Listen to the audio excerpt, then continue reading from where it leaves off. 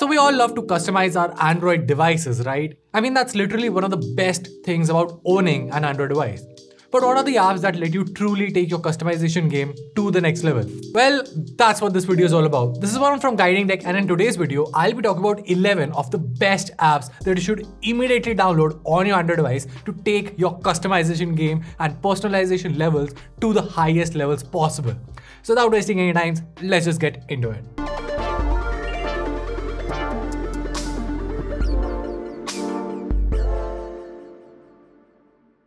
Alright, so kicking things off, the status bar on Android devices hasn't changed a lot in recent times. Well, you can tune it as per your own liking using Super Status Bar. This app adds various functionality to your status bar. You can add gestures to control the brightness or volume, have tap gestures to launch different apps or toggle the settings, and even change the way the notifications display on your screen. It's simple yet so functional that everyone will absolutely love it swiping down from the status bar and then you have the notification tray. And here's an app to customize your notification tray called OneShade. OneShade lets you customize the Android quick settings and notification panel to your preferences. You can personalize your phone with custom alerts, quick settings, and so much more. Now, as you would expect, it replaces your phone's notification bar with a modern and completely customizable version.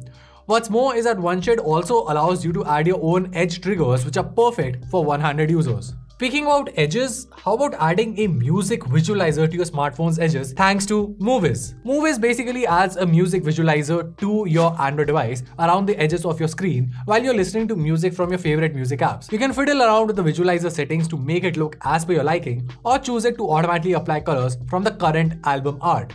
Now the app also contains responsive visualizer design packs crafted specifically for screen edges and can also be customized to match your own style. Now while we're on the topic of listening to music, how about customizing your volume controller? Well that's where volume styles comes in. As the name suggests, it changes your volume slider.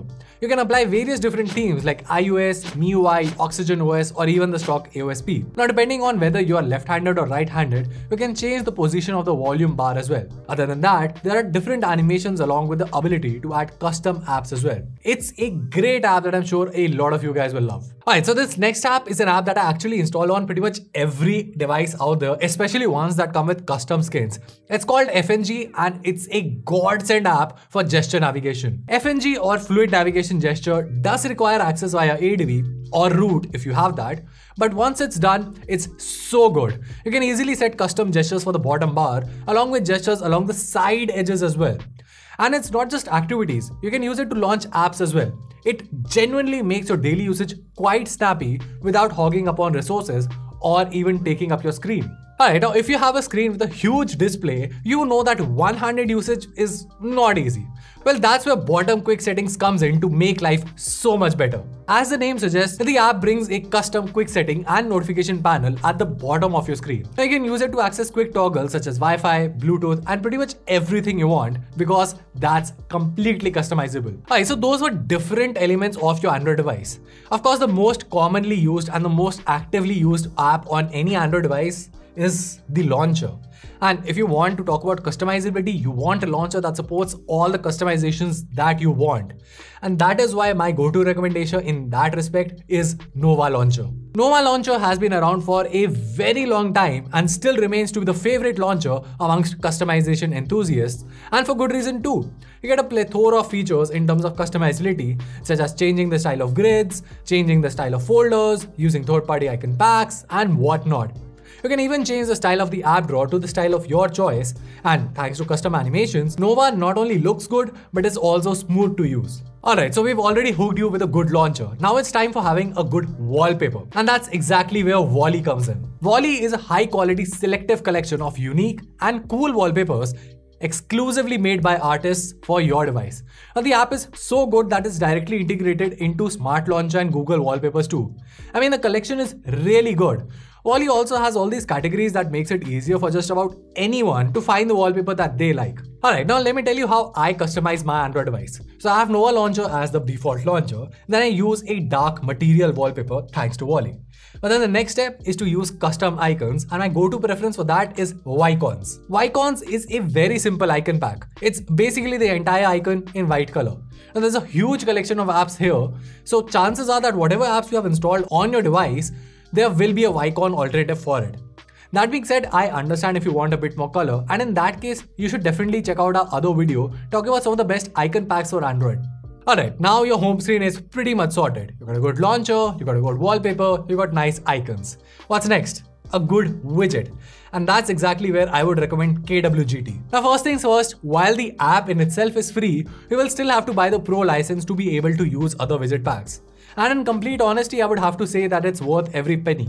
You can use so many widget packs for free also with this license and then take your device's look to the next level. With that being said, I understand if you're not willing to spend money. Well, in that context, I still have two widgets that you should definitely, definitely install on your Android device. And they are another widget and quotes widget. Another widget is a simple clock widget that easily summarizes the information you need the most. You get a quick view of the events, weather, and more in an elegant manner. On the other hand, the quotes widget, as the name suggests, shows you nice motivational quotes on your home screen. Now we all need a bit of motivation at times and this is the perfect widget for it. Lastly, well, we all love to type on our Android smartphones. So why just stick to the common Google keyboard or even SwiftKey for that matter?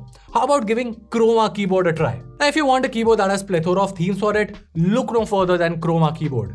The keyboard features a plethora of colorful themes that also adapt and sync smartly with the content that you're using on your screen. Of course, a fan favorite here is the RGB theme, which offers, as you would expect, RGB lighting similar to that of a desktop keyboard. And the best part here is that it's not static but actually has movement to it as well. Now while plenty of themes here are premium, I would argue that the free themes are more than enough to satisfy most of you out there. And well, that was it. As always, you can find the download links to all of the apps that I talked about down in the description box. And if you feel like there is any other app that you use to customize your Android device that we missed out on, make sure to comment down below and maybe we'll include it in our next video. Till then, this is Van from Guiding Tech and I'll see you in the next one.